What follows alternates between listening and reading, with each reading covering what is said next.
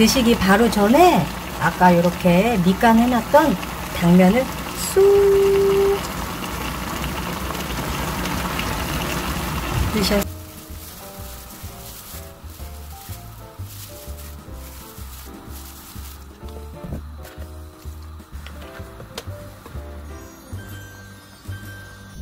자, 여러분. 야채는 이 정도 필요해요. 대파, 고구마, 감자, 양파, 당근, 청경채, 그리고 베트남 고추예요. 자, 이렇게 맛깔난 야채들을 넣어서 찜닭 맛깔나게 한번 해볼게요. 시작해요.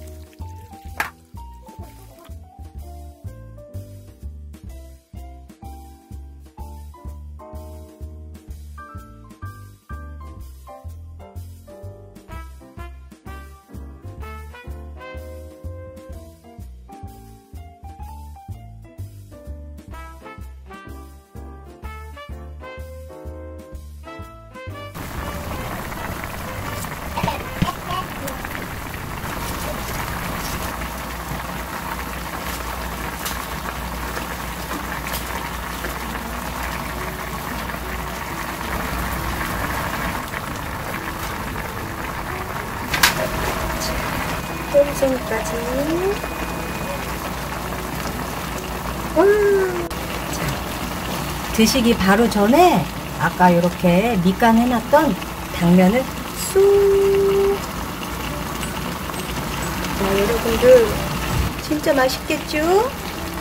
오늘도 맛깔난 찜닭 식당 가지 마세요.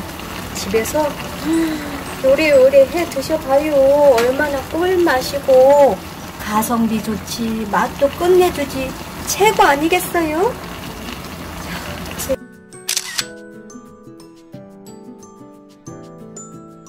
맛깔나게 한번 해서 드셔보세요. 와 맛있겠죠?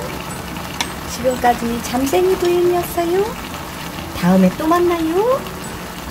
안녕. 오늘 진짜 맛있겠네 이거. 당면도 그냥 후루룩 후루룩 걸쳐가지고 그냥.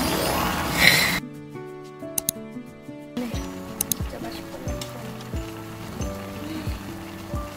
당면도 그냥 후루룩 후루룩 걸쳐가지고 그냥. 근데 왜 죽여?